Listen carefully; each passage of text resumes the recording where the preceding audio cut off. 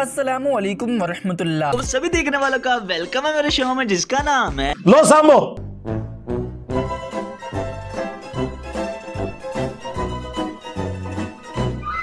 और एक और बात भी कि साहिल मियाँ बारह हज़ार रुपए की तनख्वाह आपको देना फिर हम देखते हैं।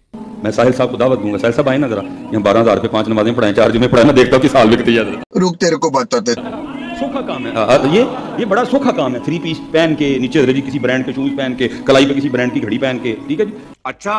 तो शो में बैठ के ना बातें करना बड़ा आसान काम है। मैं साहिल साहब को दावत दूँगा हज़रत इधर आए। मैं तुम्हारे बाप का नौकर नहीं हूँ। बारह हज़ार सैलरी पे पाँच नमाजें भी पढ़ाएँ चार जुमे भी पढ़ाएँ बच्चों को नादरा भी पढ़ाएँ और फिर उसी बारह हज़ार में से आपने बिल भी देना है उसी बारह हज़ार में से आपने बच्चों की फीसें भी देनी है और उसी बारह हज़ार में से आपने अपना किचन भी चलाना फिर मैं साहिल साहब से पूछूँगा कि साहिल साहब दसों की की बनेंगे भला?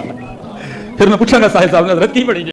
रुको जरा सबर करो। कैमरा में मुझे बोलना चाहिए कि बारह हज़ार रुपए की तनख्वाह साल में आपको मिले ना तब आपको पता चलेगा। पता क्या कह रहे होते?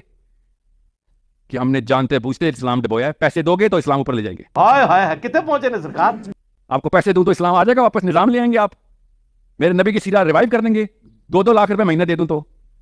ये कह रहे हैं साहबा ने पैसे लेके इस्लाम दिया हमें। सारे नबी मेरे गरीब सारे साहबी गरीब उस वक्त तो इस्लाम चमक रहा था। आपको बारह हज़ार रुपए की पड़ी हुई है। कि पैसे नहीं दोगे तो हम इस मतलब आपने जान के रोका हुआ इस्लाम अपने पास।